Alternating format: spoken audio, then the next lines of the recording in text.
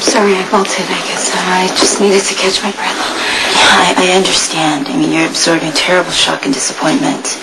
But it's important to remember, not being able to carry a child doesn't mean you can't be a mother. The last thing I want to be is one more person putting pressure on you. But, you know, I'd like to help. Uh, I'm kind of at a loss if you don't tell me what you need. What I need is to give my children the best life I can.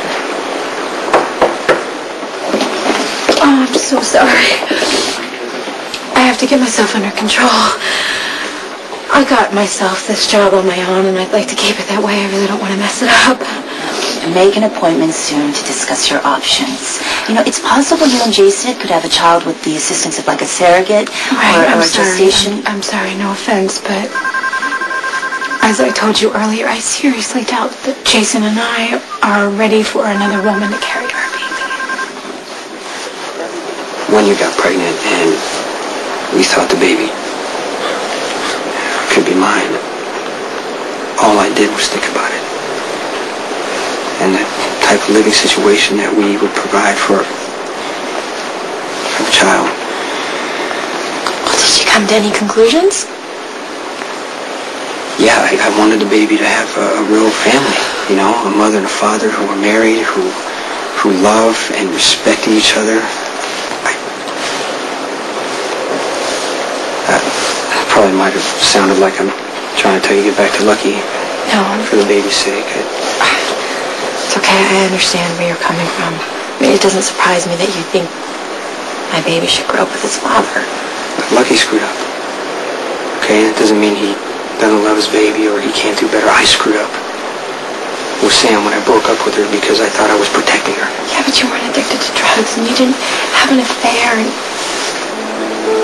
I mean, you only slept with me after you found out Sam had slept with Rick, and you know you may regret it now. At the time, it wasn't. Sam and I have forgiven each other and we found our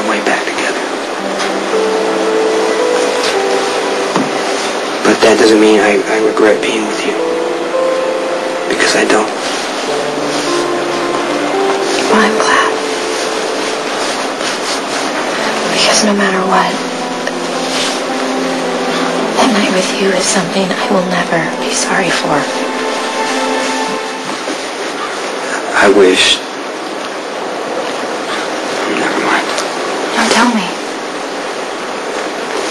I just wish I could see you happy again. Come to realize that happiness is a fleeting thing at best. It shouldn't be. Especially for someone like you. Someone like me. Yeah, I mean, you have, you know, so much to offer. Look, you, you, you've told me more than once that you're afraid if you, if you shut Lucky out that he's going to go back to drugs. Okay, the worst part that for me would be watching you blame yourself. So you you think that I should take him back? No, I, I'm just trying to offer another, you know, way to look at this, this whole thing, okay? You've told me how lucky you saved your sanity and your soul after you've been raped, right? And in all the time since, you have not stopped loving him, even when you thought, when you thought Lucky was dead, and now you were pregnant with Lucky's baby. I mean, can you, can you really turn your back on that kind of history? I'm not, I'm not saying if, if you don't go back that you're going to be taking a big chance, okay? You will be. But if for some reason this whole thing goes wrong, you are strong. Elizabeth, and you will survive. Uh, sorry, I'm not trying to I'm not trying to tell you what to do. Ultimately you need to do what's best for you and, and your baby. No sign of marijuana anywhere. Oh, are you sure? You might have missed a spot. Did you check the wheatgrass? Because it could be a good camouflage.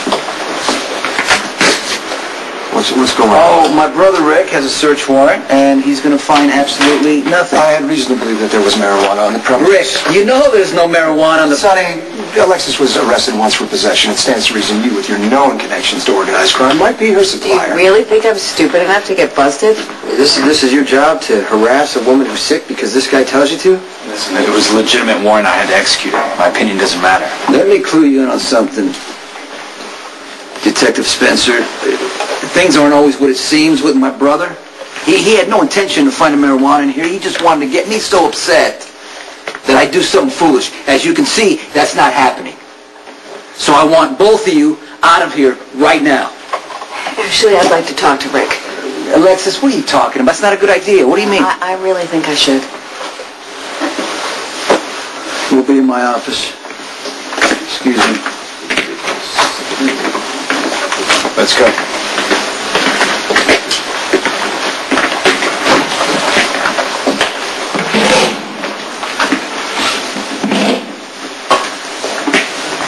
What's it all about, Alexis? I surrender. Okay? You win. I hate what that bastard's doing to Alexis. Okay, look, there's nothing we can do about Alexis. But there is something you can do for Carly. Just give her the divorce. Hi. Um, Lucky left you a message. He said that he's going to be late and he'll meet you here in the lobby. Okay, thanks.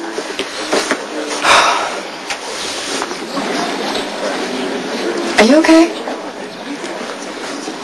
It just... It just hit me that you have what I want most in this world and you don't seem to appreciate it.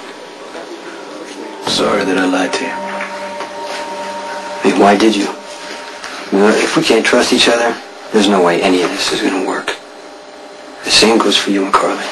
Do you believe Carly's better off with Jax? So it's not the, it's not the point. It is, it is to me. Carly's happiness, my children's happiness is, is the point of everything. I hate that I lied to her. I hate that I was living on borrowed time, knowing that it was going to blow up in my face.